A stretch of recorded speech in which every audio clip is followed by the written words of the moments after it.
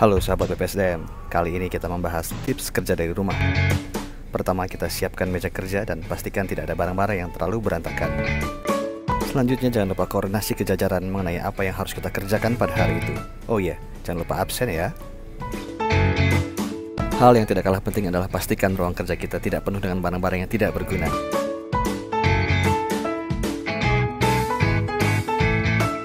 Jangan lupa juga untuk mengisi jurnal harian dan resume sesuai ketentuan yang berlaku. Dan kalau sudah mengantuk, istirahat dulu. Absen mandiri melalui Simpek, jangan sampai lupa. Semoga video singkat ini bermanfaat untuk sahabat BPSDM.